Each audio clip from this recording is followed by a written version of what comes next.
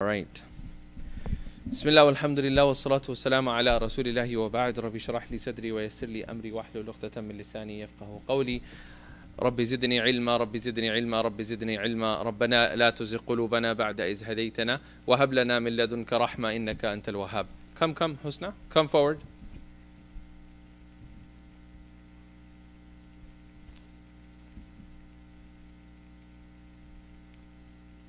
Come come Husna come forward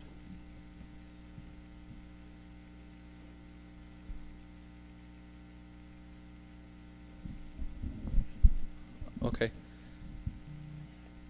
So we are, inshallah, carrying on our discussions, and as you mentioned, as we mentioned before, uh, the topic for our series is called Legends Untold. These are stories of individuals who have lived in the past. Uh, it is a family program, so we're going to try to keep the stories, uh, even if the stories happen to have some incidents that you know may not be kid appropriate. We'll try to communicate that in a way that it is appropriate and acceptable to everyone over here, inshallah. Um, so if I was to tell you that there was a conflict or there was a, a battle that took place, what's a battle? War. Tell me. War. What do you mean a war? Like, Yeah. like,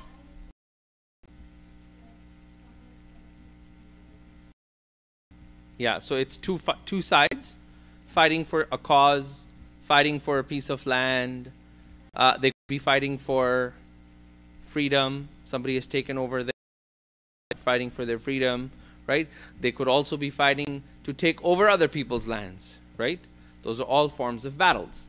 So, if I tell you that a particular battle took place, I'm not going to tell you the time frame. And here was the numbers on both sides. Battle number one, the number of people were 100.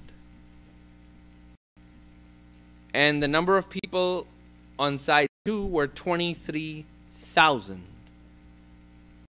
What's the first number? 300. Side one. Side two, 23,000. Okay? And the from side 1 so side 1 300 people actually ended up winning over side 2. And within 6 months after that there was another battle. And side 1 had 3,000 people. Side 2 had roughly 40,000 people. 39 something. 40,000. And side ended up winning again. When do you think this type of a battle took place? Side 1 being Muslims, side 2 being people who were not Muslims. What time do you think a battle of such nature would have taken place? Give me a time frame, yeah?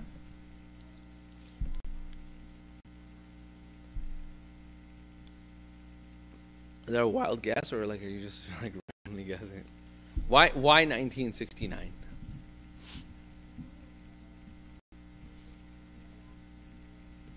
Okay, okay. Any- no.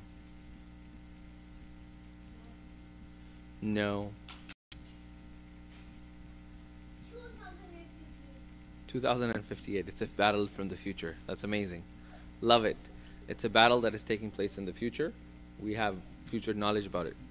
This battle took place in 2058. MashaAllah. Amazing. Someone else. Mariam. No. You want to guess? Anybody else? When do you think a battle like that where Muslims were so powerful? Would it be 100 years? Last 200 years? Husna, last 200 years? Maybe?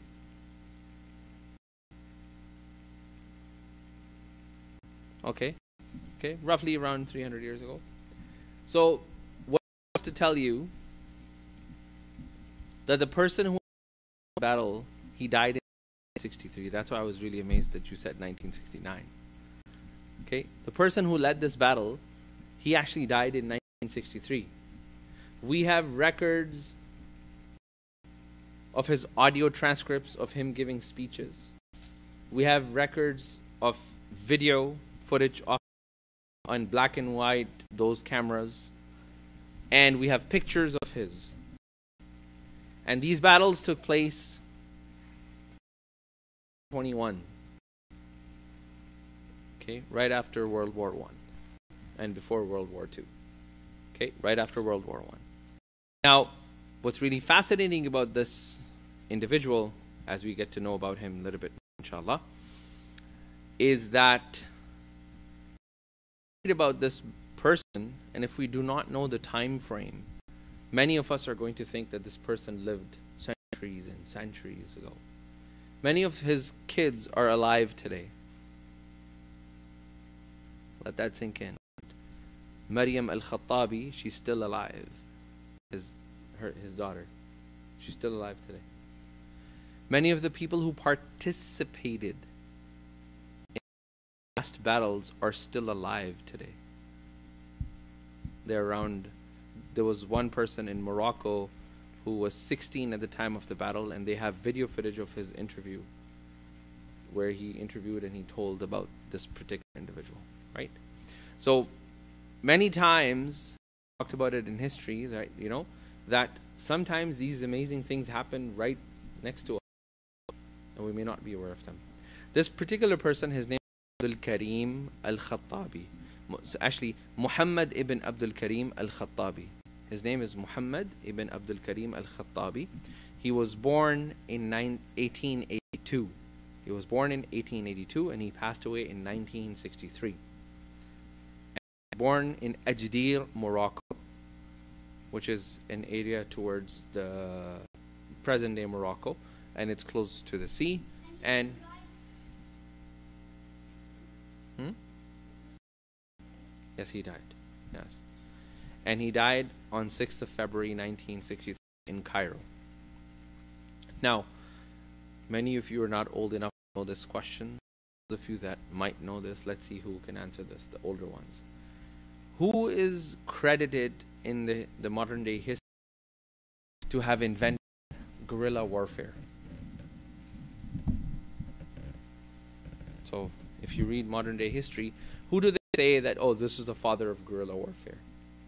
Somebody who invented, you know what guerrilla warfare is, where you don't attack the army, you attack a portion and then you come back and come back and you go and you do these small, small, small, small, small attacks and you create chaos within a big because your numbers are so small, so you can't attack them wholly. You can't attack, you can't go, you know, full on. So only way you can do it is you attack them in sides, like tick, tick, tick, tick, tick some of the the prominent people warfare and succeeded against major nations in the world was Ho Chi Minh in Vietnam. He defeated the American army in guerrilla warfare. Okay, their numbers were not big, a lot stronger power, and they used it, used warfare to cause such chaos and fear that the, the soldiers would be walking in the middle of the jungle and they were so afraid that anybody can attack them right? Uh, so did Mao, as well as Che Guevara. So Che Guevara, Che Guevara, is that how you pronounce it? No, I'm pronouncing it wrong. Yes, I'm, i know, probably Che Guevara. So Che Guevara, he uh, he actually is credited to have invented guerrilla warfare. But what's really interesting is in his last trip to Morocco to to Egypt, when Abdul Karim al Khattabi was in Egypt at that time, he actually went and he credited and he said that I actually learned how to defend my country through your inspiration. He actually met Abdul Karim al Khattabi. And, and, and let's talk a little bit about him now. That's our topic for today. So Abdul Karim al Khattabi, he was a young young boy at that time, 1882. He was born in a small tr- tribe in a small town of Ajdir in Morocco. His dad, Abdul Karim, Muhammad Muhammad was his name, Muhammad al-Khattabi.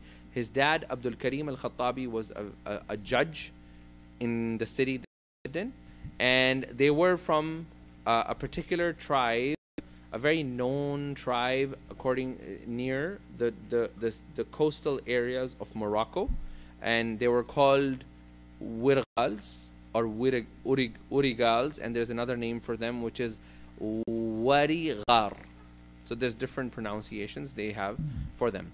So he was from that particular tribe, and he ended up going to one of the big universities of that time in Morocco, Jamia Qayraween, which is the oldest institute out there uh, in Morocco. Then he actually went and he was fluent in Spanish and Arabic. And actually, when he was he studied mine engineering. He was an engineer. He knew how to build mines and uh, you know the engineering related to mining and stuff like that. He learned all of that, and then he came back after he finished. Uh, now, on his way back, because he was fluent in Arabic and he was fluent in Spanish, there is a Spanish enclave. So, enclaves are basically these cities within which is run by a different country. So if you ever ever look up on the map of Emirates, United Arab Emirates, right in the middle of United Arab Emirates, in the middle of it, you're going to see a small portion that is controlled by Oman. A small portion that is controlled by the Sultanate of Oman, in the middle of the Emirates. So like the entire country. Right in the middle of Spain, right at the coast, is a small city called Melilla. Melilla. So this city, because it's in an Arabic land, they spoke Arabic over there. So as he was coming back, they said, you know, why don't you just become a qadi because you have studied Sharia, you're, Span- you're fluent in Spanish, and now you are also, you know, you've studied engineering, so you understand the Spanish culture. We have a Spanish city over there, and we are running a whole bunch of things out of that city. Why don't you just work for us?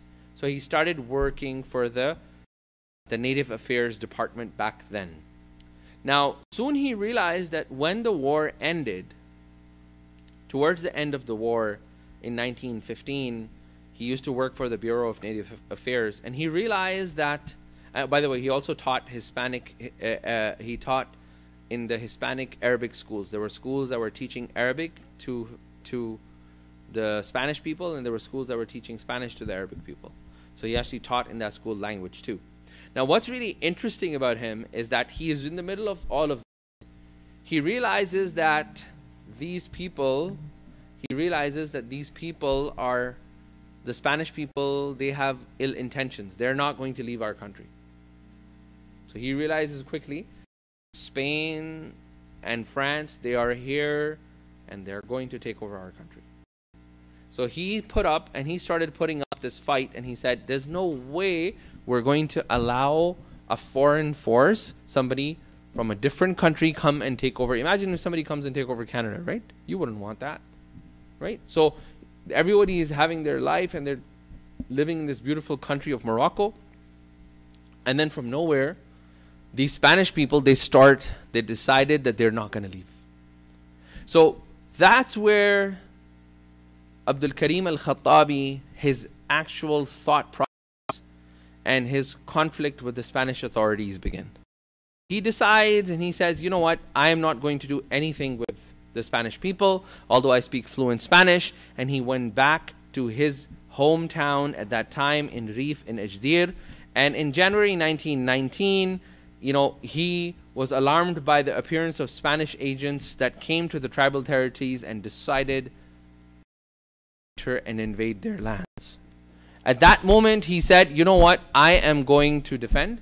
So the tribe got together, and in 1920, his father, Abdul Karim, together with those brothers, they, the father, Abdul Karim, with brother, with his, with And his brother, they both decided that they're going to put up a fight. They're not going to let Spain, Spanish people take over their, their village. And they put up a fight, and they actually started defending themselves. Now, during the process of that defense, his father, Abdul, Abdul Karim, he passed away in 1920.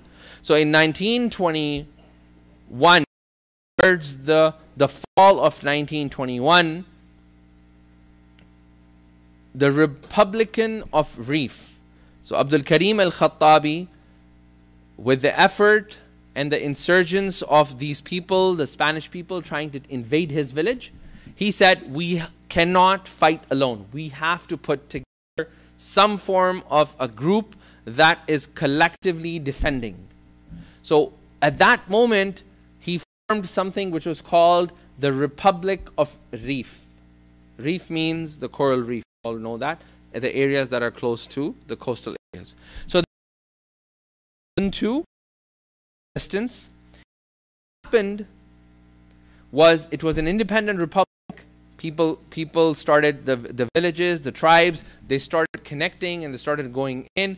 And what's really interesting was the spanish and the french people they could not take this. So they took it on themselves and they said we're going to dismantle we're going to dismantle the entire morocco region so when i say the entire morocco region you have to understand i, I do not have a map otherwise i would show you but think of it all you know if you ever look at a map from Libya all the way down to Mauritania. They colored the entire two colors, and France said, We're going to take the pink color, and they said, We're going to take or, or the green color. They divided the entire. So, so you're talking about Libya, you're talking about Tunisia, you're talking about half of Morocco, the other half of Morocco, Mauritania. All of these countries, perfectly Muslim free lands. And this is, we're talking about 1920s, right after the World War. They said, oh, these guys are Berbers, they are illiterate people, we are a sophisticated society. In the name of democracy, we are going to go and invade these lands. They have no business being there. So they split up these countries, and the Spanish people, they being at odds with none other than Abdul Karim al Khattabi. In 1921, what happens is that the efforts of Abdul Karim al Khattabi and he started building something which was called the guerrilla leadership, which means he started building these small, powerful battalions all throughout the entire Moroccan region. And the Spanish people, they were extremely scared about that. They were like, if their armies are going, they have no idea when they're going to be attacked. And it could be an attack of 10 people or it could be an attack by 50 people. We don't know. So they were terrified about that. So at that point, what happened is Abdul Karim sent commander to the general at that time, which was Manuel Fernandez Silvestri. This person, Silvestri, this person he was known as a person who didn't care about lives. He just wanted to kill. And he, the warning that Abdul Karim said is there is a river. That river is the river of Amqaran, you know, Nahar Amqaran. Do not cross the river of Nahar Amqaran. And if you do that, you would have declared an open war against me. So, so Muhammad ibn Abdul Karim, he sends this message to the Spanish he doesn't care. He collects an army of 60,000 people and he crosses the river. So, how many people did he cross with? 60,000. And what happens is in June 1921, Muhammad ibn Abdul Karim al Khattabi, he says, We can't take this anymore. So, there is by the Abran Mountains, again, this, this, this, is a long fun when we have Google Maps and I can actually show you these mountains. But just you know, think along. There's a mountain that's called Abran, right? And there are people there. So by the the the Abran mountains, there is a battalion that is hidden, and an army camp of twenty three thousand soldiers is set. Now, what the Spanish people did to take over the entire Moroccan area is they, they created 100 army enclaves and checkpoints entire region. So imagine you could not travel anywhere in Morocco unless it, and, and any road you would travel you would meet a Spanish checkpoint or a Spanish you know uh, uh, barracks or any of these things you would find them there. So around the entire these 60,000 they were all scattered and there were 23,000 particular location and there were around 40,000 that were scattered, but but they had a which was called Anwal. So at the Abron Mountains, they had around 23,000, and they had at Anwal, which is another city, coastal city, because it was right off. They could come from ships and get on. At that place, what happens is he attacks 300 soldiers. Imagine the entire Moroccan region being defended by only 300 people against the Spanish invasion. Okay. I won't call it colonialism because colonialism means that they're trying to build that country into a colony and establish that. It was more of an invasion. Right? That's a nicer way to put it. Oh, we were colonizing it. We were, you know, acculturalizing it. We were advancing the states. No, no, they weren't. They had vicious agendas. So here's what happens is he goes with 300 and enters this massive 8,000 and within 6 hour he takes control control over the entire camp. And a lot of people just because of the fear of these 300 people many of them died. There's varying accounts of how many people were killed, but bottom line around a thousand people were killed, and in some accounts 200, some accounts 400, varying accounts, but most of them just ran. They could not take it. They were just so afraid. Psychologically, they were so afraid of these 300 people. Now, what happened was Abdul Karim al Khattabi, Muhammad ibn Abdul Karim al Khattabi, he was having this challenge, right? How do I convince, how do I convince my nation that we need to stand up against the invasion of Spa- Spain? How do I convince them? The only way to convince them is if I have a victory of such nature, which Allah provided him. So what happens is quickly his army goes from 300 to 3,000 people. And he says, We're not going to stop right here. Our next stop is their bigger camp. And everybody's like, Are you crazy? Have you done the math? It's 40,000 people. According to the, you know, according to the least estimates, it's 30,000 people. Let's take 30 if you want. You know, these numbers are very varying, but they were huge. Like mathematically, it doesn't add up.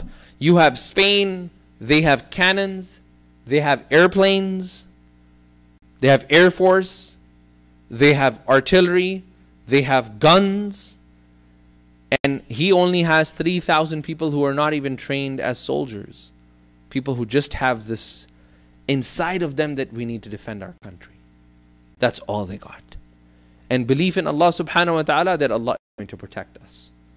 And that is the most powerful thing we take away from this story.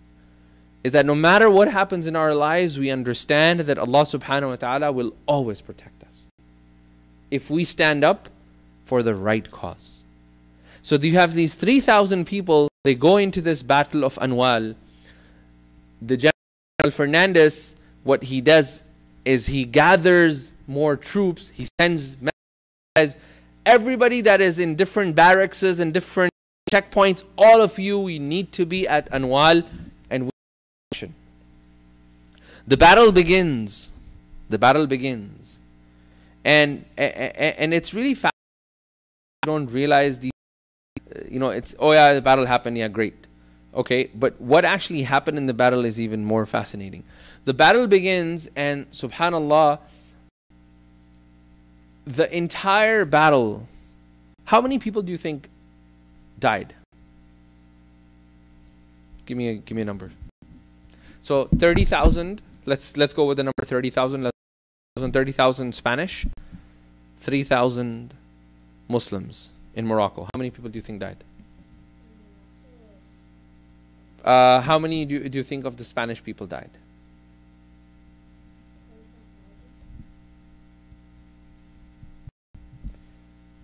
Out of how many?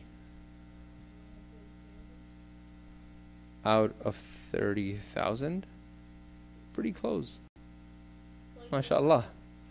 Pretty close, actually. 22,000. that's, that's pretty close. You're a good guesser, man. I can't ask you next time. You killed the ants in the one shot. So, mashallah, but that's good. That's really good.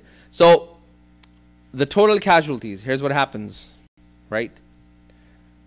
Total casualties, right? So number of people that died were around 20,000. And there were 4,000 ex- like severely injured. They needed medical help. And there were around 570 that were turned into prisoners. Now, how many do you think were the shuhada, the martyrs, the Muslims? Muslims. Muslims were 3,000. How many think they lost? No, let him think. Let's see if he can guess this. Muslims were 3,000. How many do you think from the 3,000 Muslims died? Okay. No. 15? No, it's in the hundreds. No. That's a good one. No.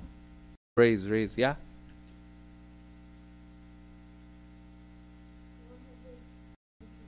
No. More, more. More. More. More. More. 500. Okay? So 500 500 Muslims were, were shaheed at that time. 600 were severely injured. And there were no prisoners. None of the Muslims were prisoners. Now, the 570 prisoners that were actually taken, they were taken back to the, the city of Ajdir. And oh yeah, by the way, I forgot to tell you the bigger part, the biggest part of that story. The biggest part of that story is that the the person, Manuel Fernandez, it was such a bad defeat that many of his own army people they actually saw him. They, many of the people in the army they actually saw him and he committed he killed himself in the battlefield. Take the fact that I was defeated by 3000 villagers who had primitive guns. And this is something that took place li- like literally we're in 2021 this took place in 1921 exactly 100 years ago from today. Okay? So this is so fast sometimes we think that you know allah subhanahu wa ta'ala only helps people that were like four but this is somebody right now, someone. So finally, the Spanish, they had no but to retreat. So they retreated back and they ended up, it was, it was, it was a you know, of Mus, you know, you know, at the hands of Muslims, they could not take this. MashaAllah, then what ended up happening, long story short, uh, his entire army grew and it started growing and growing and growing. And basically, what happened was they there were around 30,000 Rifian fighters, so it became a very big army. So guess what the Spanish and the French did? They're like, you know what? We can beat them by numbers. So there was another battle that took place. This was with 30,000 Muslims against 100 thousand soldiers, the Spain, Spanish, and the French army. And they sent all of these soldiers on ships upon ships upon ships. And they said, We cannot submit.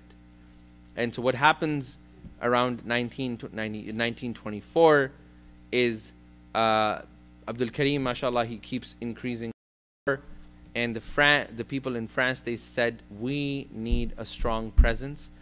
Spain and France they get together and each one of them commit 250,000 soldiers. This number with the large number of aircrafts, artilleries, and they begin something which was called the Operation Reef Republic. In September 1925, the Spanish armies of Africa so they had Spanish armies within Africa. They all also combined and supported with the Spanish and the French fleet, and they landed at the bay. And Abdul Karim and, and they went straight dozens of miles away from the birthplace of Abdul Karim Al Khattabi, Muhammad Abdul Karim Al Khattabi, Ajdir. They actually ended up over there and they fought. And another battle took place. But what happens in this particular battle is that the Muslims do not give up. So the battle goes on for days on end, and the Muslims are continually winning. And finally, the French, they're like, you know what? It's too much. It's too much effort. Let's get chemical bombs and just bomb the hell out of them. So they just brought chemical bombs. They have actually literal footage of these pilots that are sitting and the, the soldiers at the back that are hold because they didn't have at that time. So what they would do is they would have a plastic plastic pay, uh, container and they would have pictures of these people holding these chemical bombs in the air with their bare hands while the plane is flying and dropping it on the men that were there. At that point, Abdul Karim al Khattabi he decides and he says, I cannot risk the entire nation because this is no longer a game. They're throwing chemicals at Muslims. They're not differentiating between who is a, who's an army, who is an innocent civilian, and a lot of them were killed. Abdul Karim al Khattabi, you know, this intense battle lasted 10 months 30,000 versus 500,000, and they could not win. 10 months of constant battle. Finally, Abdul Karim al Khattabi on May 26th. Somebody's born on May 26th from our house, right? You are, yes. May 26th, 1926, Abdul Karim he surrenders surrenders to the French. There's actually footage of him I was able to put out from some of the records on YouTube and you know foot there's a footage of him being arrested and trying to like bend him over in that footage to you know submit and he's like forcing and he's like no I have surrendered but I still have dignity in me. I'm not going to bend myself over. What do you think they did to him? I just want you guys to understand something. No they didn't. They Muslim world revolt against him. No they did not do any of that. Yes you have a two guess. Yes, go ahead. No, they didn't.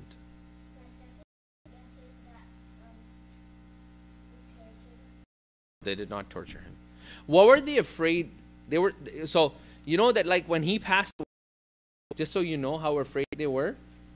When he passed away, his grave Spanish people and the French people were afraid to to even walk on the street where his graveyard is. They were so afraid of his grave. In his grave, they were so afraid of him. So, what do you think is the biggest a leader of such caliber for a colonizing power? That if he settles in another Muslim land, the mass, everybody's going to be right behind him. So, what they did is they literally. Do you guys have your Google Maps on? Got their Google Maps? You take out your phone and look up island of reunion. Actually, let me show it to you guys. No way. IG so crazy. Yeah, it's from Madagascar. So you went to the island. Did you, did you know that he was he was on that island for 20 years as a prisoner? It still is. It still is a French colony. So he was kept on an island. I never thought that I would meet a person who's been to an island of reunion. That is such a. That was the where they sent his entire family, brother and everyone, and him uh, a, a and they said, "You're not allowed to interact with any Muslim, except your family." So they one members of his family that moved by a ship, and they were sent. Jazakallah khair. They were all sent to this island of reunion and what appeared from the face of this earth. Imagine if you didn't know back in the day you in Google Earth, you know of reunion is. You have no I'm surprised right? It's a beautiful place. It's it's colony, right? It's a French colony. Did you find there, there is actually a street named after him on that island. It is called Rue Abdul Karim.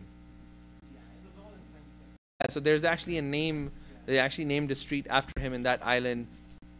So what ended up happening is there was a ship, there was a ship, uh, an Australian ship by the name of that was actually visiting the island the way he traveled by ship. And they decided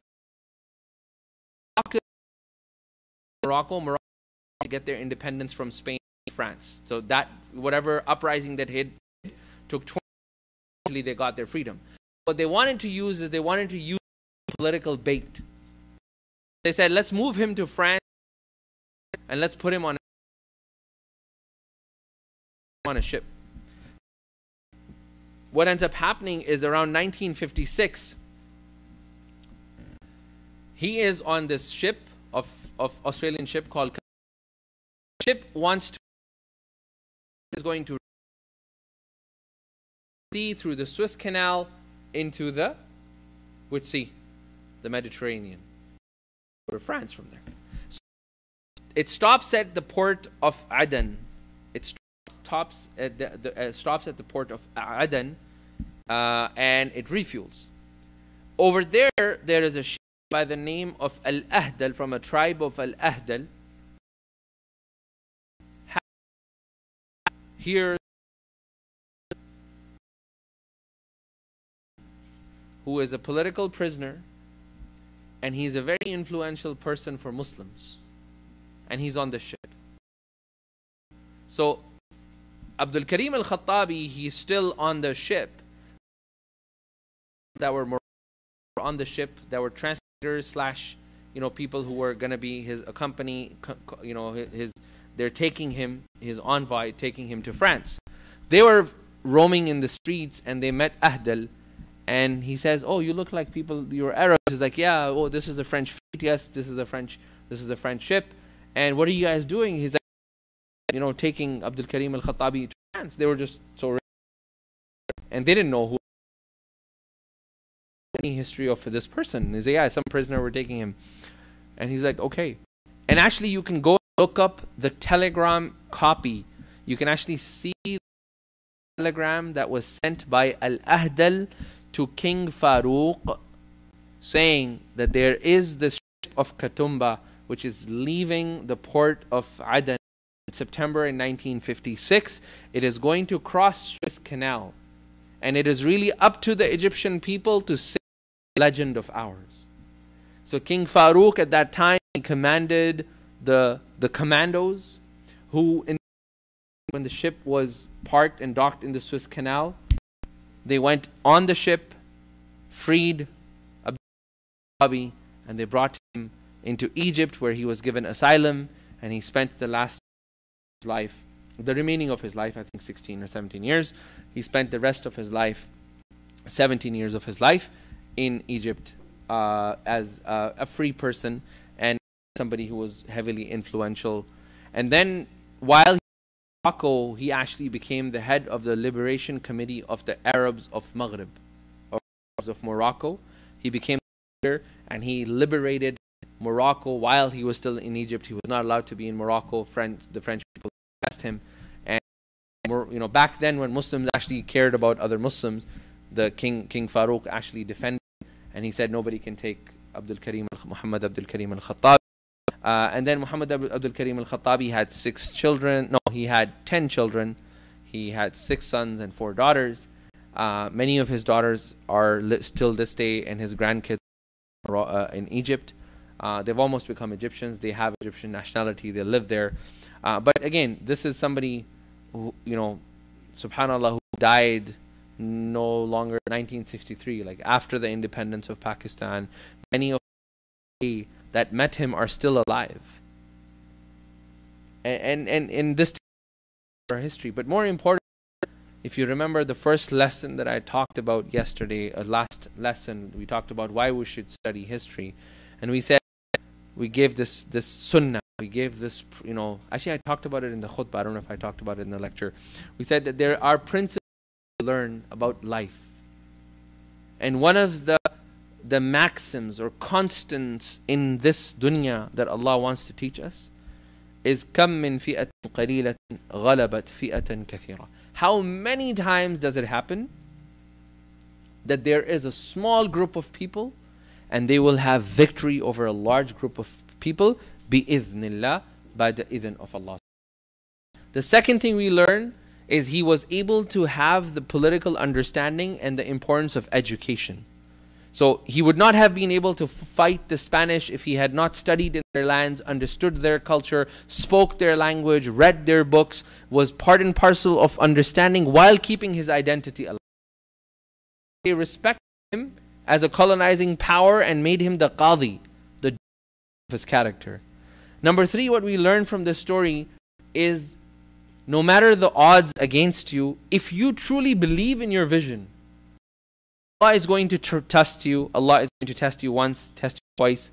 But eventually, if you stead, if you're steadfast on that, if you stick and hold on to it, Allah Subhanahu wa Taala will provide. What happens? We'll go through challenges in our lives. What Allah Subhanahu wa Taala is looking for is like, are you consistent? Are you going to see, uh, you know, on on the first, uh, you know, first sight of the challenge, you're like, "Main to ja I'm done. I can't do this anymore." Or are you going to stick to it?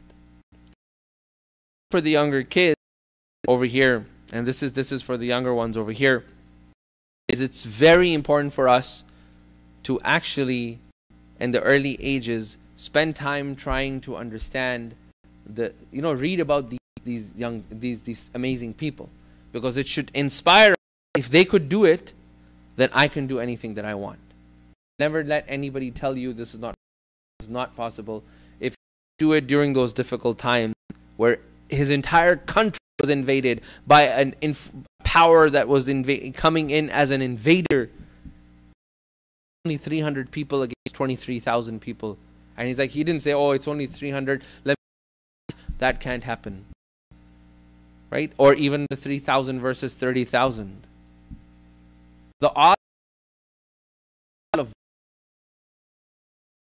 right? But he believed in the cause and he moved on. Anybody else put a give a lesson over here? What do you learn from his story? We have five minutes before Salah.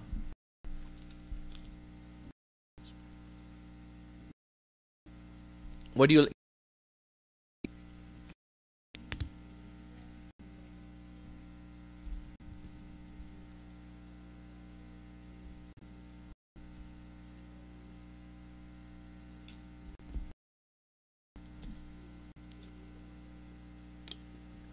Yeah, not being apologetic. That's a really good one, right? Being being to be a Muslim, mm, keeping your head high, letting letting the world know that you didn't do anything wrong. As a matter of fact, you guys don't have a history that you can look up to.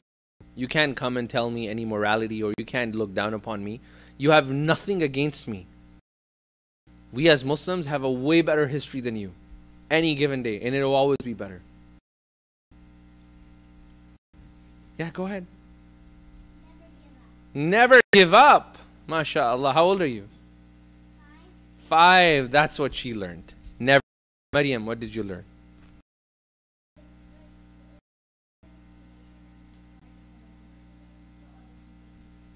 Okay, so she learned she would want to do get some more information about him and be write by biography about him. Yes, there's actually an a on him, but sadly, the documentary is in Arabic. So if you can read the documentary, it's really interesting. You actually get to see the, the historical accounts from the Spanish side. People who, I mean, they have articles, they had newspapers that were written in France that have documented this entire. Also published as the man of the year, 1925 article of Times Magazine. If you look up Times Magazine, his picture actually shows up to you. So his picture actually shows up on magazine 1925. This used to be 15 cents.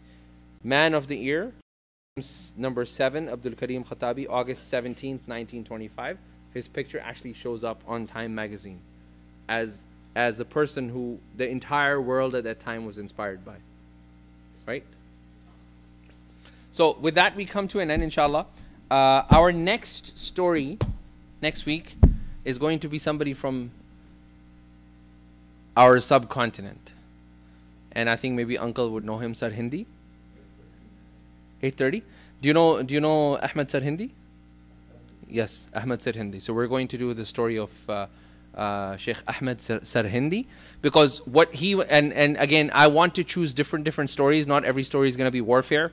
This is more how he used knowledge to change the society And his society at that time was a very similar society of what we're living in, very pluralistic, very everything is good, all religions are good, we should love one another, the same thing we're going through. So it'll be very inspirational for us, inshallah.